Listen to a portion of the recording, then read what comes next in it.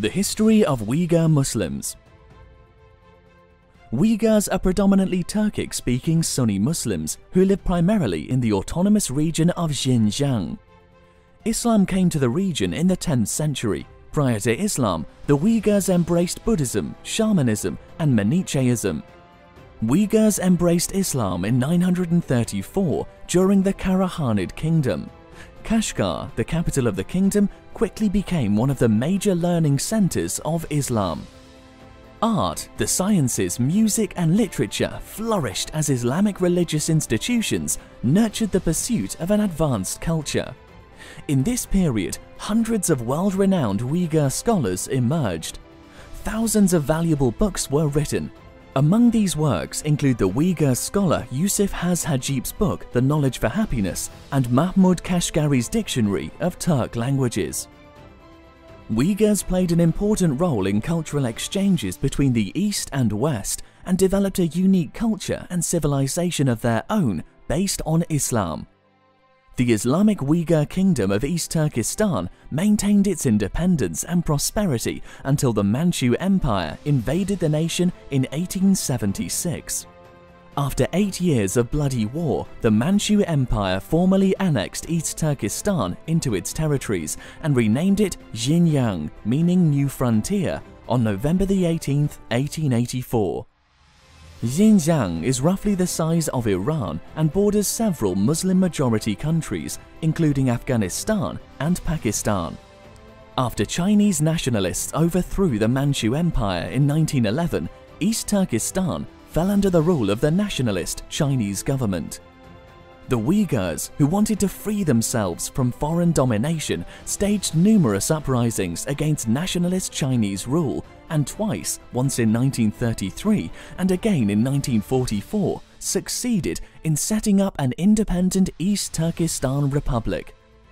The Uyghur Muslims have little desire to assimilate into Han society due to their strong attachment to their cultural practices of Islam. Their reluctance to do so is met with reactions ranging from chauvinism to claims of ingratitude by the Han elite. For over a decade, under the guise of counter-terrorism and anti-separatism efforts, the government maintains a pervasive system of ethnic discrimination against Uyghurs Muslims and sharply curbs their Islamic practices and expression. China is accused of encouraging internal migration into the Xinjiang province to increase the non-Uyghur population and power in the region. The overall effect of the Communist Party of China's policies in the last six decades is unmistakable and stunning.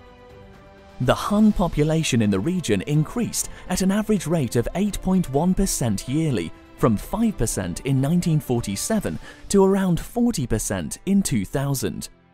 Officially, the 2010 census puts the Xinjiang population at 45.8% Uyghur and 40.5% Han, with Kazakh, Hui, and other ethnicities making up the rest. In recent years, there have been many reports of students, teachers, and civil servants having been forbidden from fasting during Ramadan, forbidden from wearing their traditional dress, and even keeping a beard. Uyghurs continue to be the only population in China consistently subjected to executions for political crimes, and these executions are often both summary and public. With the rise of China as the expected superpower of the 21st century, such repressive policies against the Uyghur Muslims are likely to get worse.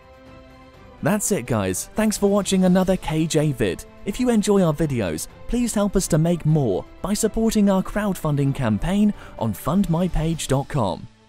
Fund My Page is a crowdfunding platform designed to help creators like us produce more content for you.